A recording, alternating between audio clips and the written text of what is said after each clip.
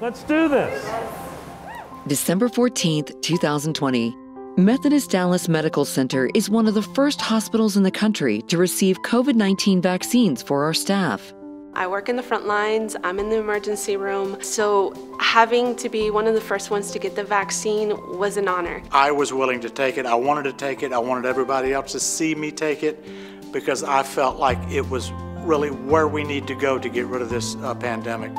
2020 was a trial by fire for hospitals, but at Methodist Dallas, we faced the COVID pandemic as a unified team, following the same core values that led us to become a level 1 trauma center and a magnet designated military friendly employer.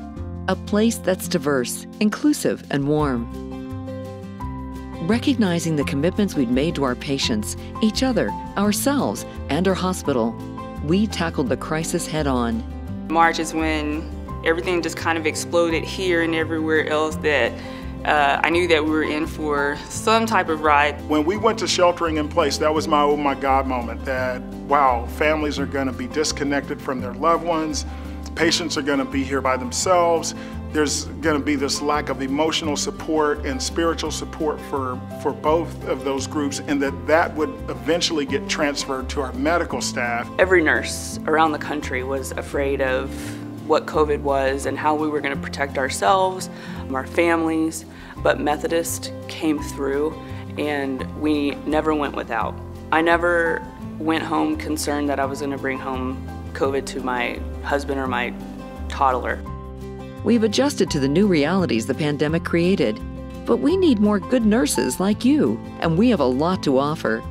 It's heartwarming and satisfying to know that my hospital my family, my home, is taking care of those out in the community.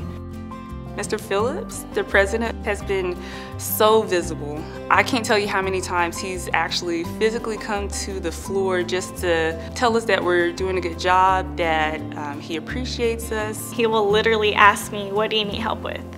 Being magnet just means that the hospital is really focused on nurses and what you need, trying to make your job easier. The pay and benefits are amazing and most of all my work-life balance is is perfect. I couldn't ask for anything anything better. I feel that we're able to encourage each other, push each other. I've worked here for, I think it's going on for 13 years, and it's just a place that I've always looked at uh, as home. It feels like a home, and that's why I chose to plant my feet here and start my career here. I knew nothing of the health systems here in Dallas, so it was just really a Google search.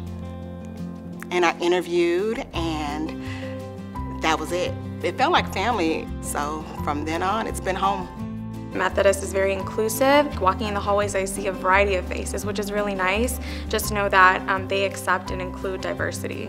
Nobody looks the same. We're all from different cultures. We're all from different backgrounds, and it just, it's something that brings us together rather than divides us. I love my coworkers, I love the support that we get here, and I'll probably stay here for the rest of my career. I was actually born here. It's an amazing hospital. I mean, always making sure that we're taken care of, and it's a lot warmer down here.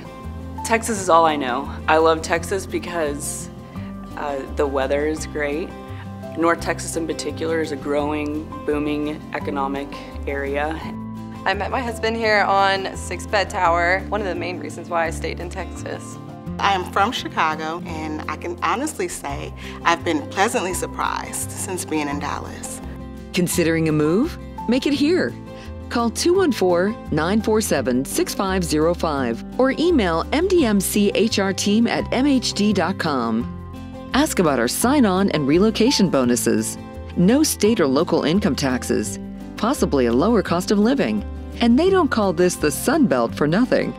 Even the work culture is brighter at Methodist Dallas Medical Center. Texas, baby. Born and raised.